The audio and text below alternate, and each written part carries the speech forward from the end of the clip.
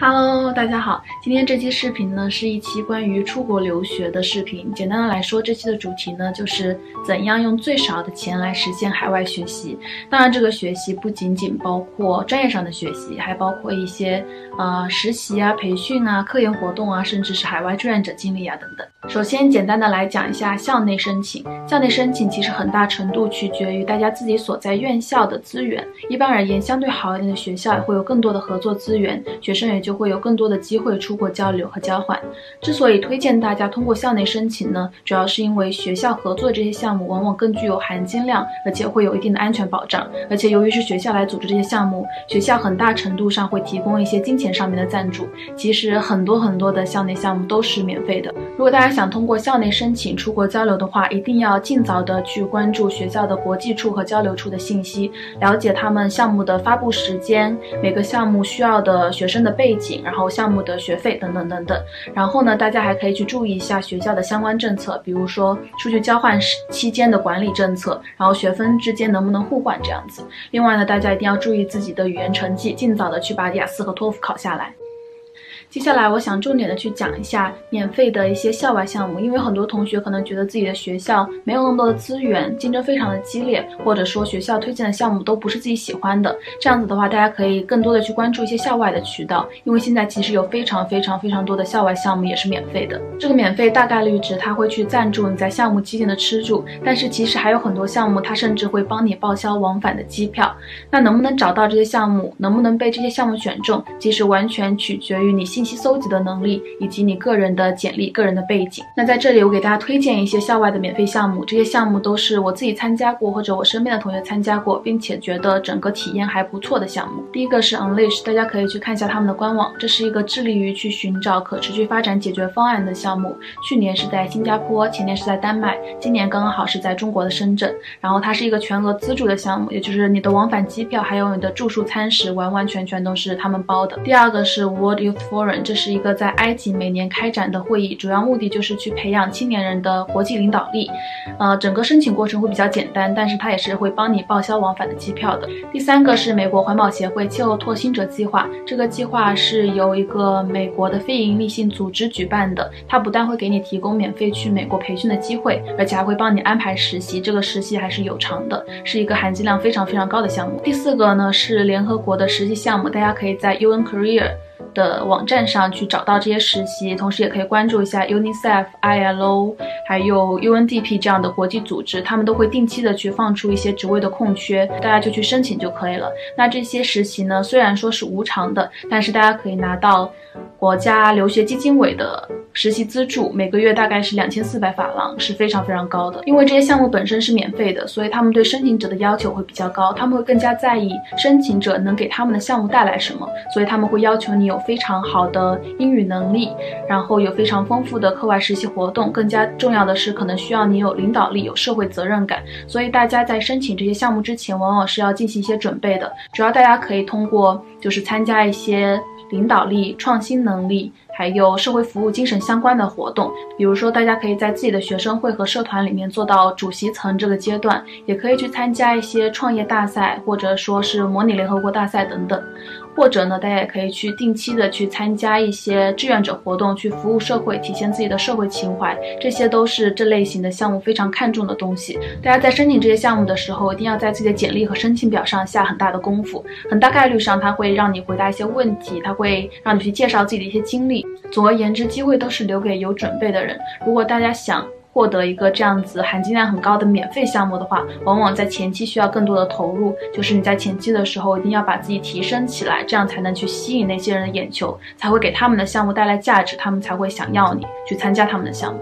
那除了免费的项目以外，现在其实还有很多很多的收费项目。这些收费项目包括一些呃科研项目、志愿活动项目、国外游学项目等等。具体的信息渠道呢？首先，大家可以去关注国外院校的官网，他们会发布一些他们交换项目的信息。牛津啊、剑桥啊、哈佛都会有每年的暑期寒假，但是不是免费的，就是他们是按学分来算钱的，所以一般来说这些项目都比较贵。第二个呢，就是大家可以去看一些中介机构的背景提升项目，这些项目呢可能是比如说带你去非洲草原上做一些项目啊，和一些高校的老师一起做一些课题啊，等等等等。第三个呢。就是大家也可以试着去搜索一下海外义工，现在有非常非常多的。组织和机构都在做这方面的相关活动，而且收费往往还比较合理。特别是如果你去东南亚国家的话，往往就是花很少的一笔钱，也可以去做一些很有意思的活动，比如说支教啊，然后给他们修小学呀，甚至提供一些医疗服务这样。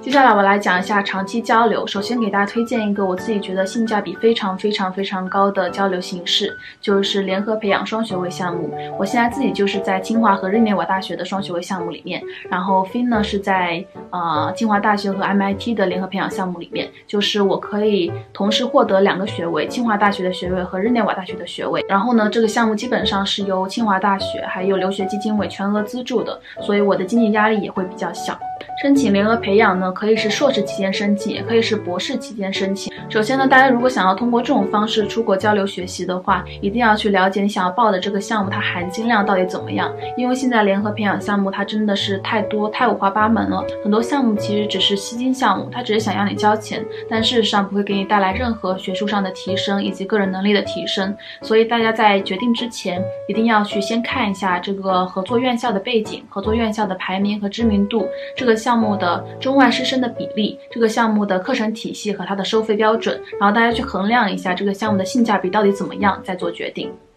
第二个呢，就是稍微好一点的联合培养项目，往往会有更加严格的考核机制。首先呢，就是你一定要通过保研或者考研这样的大关。另外呢，他们还会对你的专业知识储备、语言能力、读写能力、语言表达能力等等进行另外的考核。所以，如果大家想要去申请这样的项目的话，一定要在前期多下功夫，就是要把专业知识掌握得更加牢靠，同时要去锻炼自己的语言能力，尤其是口语能力，因为你很大程度上可能会面临全英文的面。试这样，当然各个学校由于项目的不同，它的考核机制也是不一样的，它对学生的要求也是不一样的，大家可以根据项目的内容来进行准备。其实大家可以参考一下。北大和 LSE 的联合培养项目，清华和约翰霍普金斯的联合培养项目，在百度上搜索一下，大家就可以看到了。长期交流的第二个渠道呢，就是自己申请。自己申请，它的花销往往是比较大的，但是根据国家和地区的不同，它的花销浮动其实是非常大的，而且也不排除就是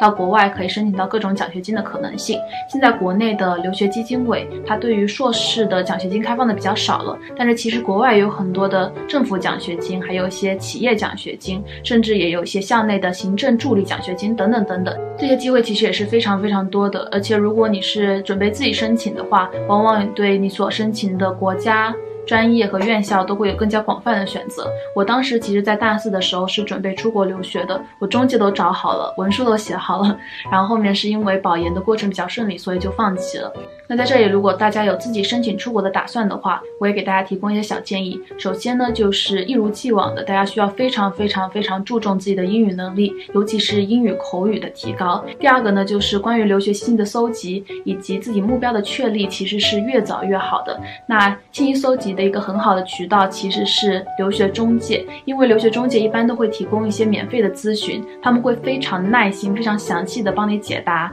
你的一些问题。当时我自己也是在大三的时候跑了两三家留学中介，问了各种各样奇奇怪怪的问题，才下定决心要出国留学的。留学中介他们掌握的信息包括各个国家、各个地区之间的对比，包括教学水平的对比、收费标准的对比、消费水平的对比等等。而且留学机构还可以帮你分析你的专业，你可以去了解自己专。专业的就业前景是什么样的？